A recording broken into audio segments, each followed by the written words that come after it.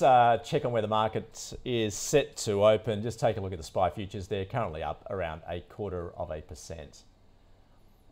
Right, for all of the day's market movements, James Gerrish from Shaw and Partners and author of Market Matters joins us now live in Sydney. Thanks so much for joining us this morning, James. Look, it was a pretty mixed session overnight, wasn't it? Tech sector up. How does that follow through into our market and what we should see today? Yeah, good morning to you guys. It's going to be a positive open um, collectively here in Australia, but you made mention of sort of the discrepancy or the divergence across the sectors over in the US. So um, the Dow actually finished down, and that was weighed uh, weighed by the banking sector. So um, you know, lower bond yields are, a, are a, uh, a, negative for the banking space. So that sort of played out in the US market last night.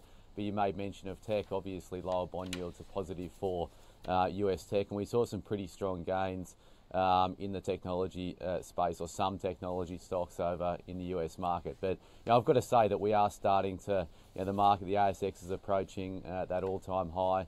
US markets have, um, have hit all-time highs. The Nasdaq is back, back up, sort of knocking on the door of 14,000. So. Uh, in my view, it's time for a little bit of caution and increasing cash levels around this current point in time. All right, so you what with a view to what's next? Do you think though? So expecting a bit of a pullback. Yeah, exactly. I think there's there's indicators that are, that are starting to show that the market's losing momentum. So if you look at the internals over in the US market, so the the, the breadth of the, the recent rally is sort of declining. So what you want to see is sort of all stocks rising. We're starting to see a large number of you know the, the, the heavyweights leading this um, sort of the, the, the push higher. So the internals are, are starting to look a little bit weaker.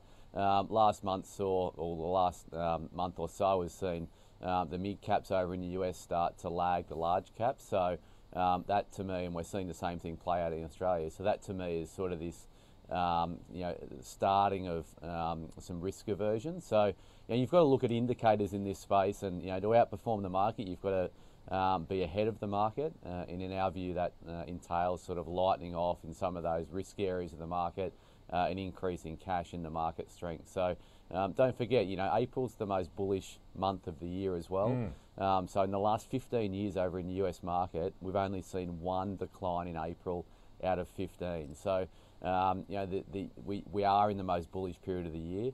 Um, the market's clearly, and market participants are clearly bullish. So I'm in the view of fading that going into sort of seasonally weak May and June. But of course, uh, US earnings season now on the cards. So we do have that micro fo focus colliding with that macro focus. Obviously, all eyes on the data still as we plough through this recovery. So how does that play out if you are thinking that it, it could see some risk on, risk off trade? Well, it just comes down to market positioning. Um, so, you know, it, it, doesn't matter if earnings, you know, are, are, really strong. If the market positioning is expecting, you know, a bigger bounce in earnings, then that creates a risk um, from a market's point of view. So um, I don't get too caught up in terms of, um, you know, obviously the numbers are going to be strong. We've seen some really, you know, they're comping on a pretty um, weak period as well. So uh, obviously, the growth, um, you know, uh, on uh, on PCP is going to be really strong. So the headlines for this reporting is going to be, um, you know, really really bullish headlines.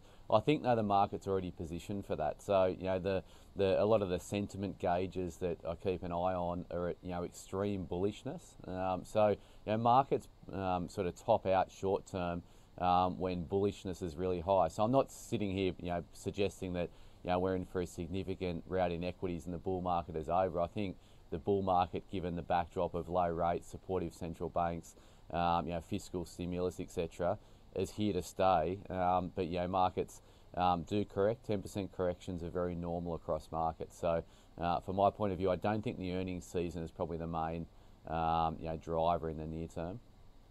James, you started uh, out by talking um, tech there. Obviously, locally, when we think of tech, um, we include buy now, pay later. Uh, you saw those results from Zip yesterday. Is that changing your perspective of the buy now, pay later players at this, given its success to date um, in the States?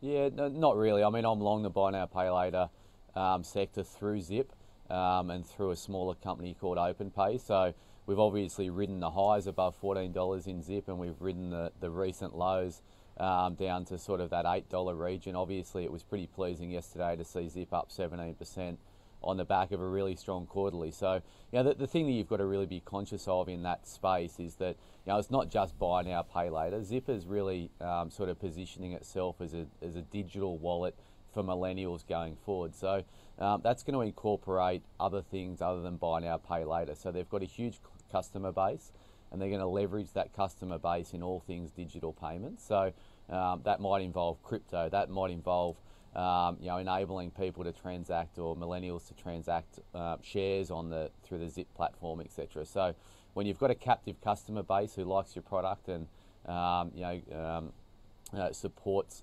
um, you know, continues to come back, that's going to be a positive. You may mention the US experience, so you know the, the growth over there is accelerating. Um, and that's now you know above 50% of their business. So the real growth is in the US penetration starting to increase, and the market's huge over there. So that's going to be Zip's driver through their QuadPay division um, for future growth. But it's not just about buy now, pay later. I'd, I'd, I'd stress that as well. James, what are your thoughts when it comes to the financials here at home? Fitch have revised some of their ratings when it comes to the big four banks, but where do you stand when it comes to your view? Yeah, I've been really positive on the banks um, coming out of COVID. Obviously, they had um, they put away really large provisioning. They over provisioned for the economic outcomes that we saw. So, um, you know, I think that's obviously supported the, the huge rally in share prices. I think about going forward and what is going to be the drivers for banks or the catalyst for banks in the near term. I think we're probably going to see a consolidation or move lower in, in, bond yields. I think that's going to present a near term um, headwind for the banking space. I think we've started to see it in the US market where banks have started to underperform after a period of outperformance. So um, I'm in the camp of trimming bank holdings as opposed to adding to them now. Um, and I'll be a buyer back again into into weakness. So if the bank's correct five or ten percent, I'm a buyer again. But right now I'm on the sell side of the banking space. And of course, those big four fronting the Senate tomorrow. Can we expect any takeouts from that? Probably not. It's probably old news, um, to be honest with you. I know that's a bit of a blasé attitude about it, but um, you know, from a market's point of view, I don't think it's going to be, um, um, you know, what drives the, the, share prices in the near term. I think, you know, the backdrop, bank, banks are incredibly leveraged to the broader economic trends that are playing out. So I'm not turning bearish the banks. I'm simply trimming holdings that, you know, after a really strong run, I think banks probably go higher by year end and into 2022. Um, but in the near term, I think they're overbought. So I don't think that Senate inquiries, um, you know, in a nutshell, is going to be a big factor in share prices. James, thanks so much for joining us this morning from Shaw and Partners. Have a good one.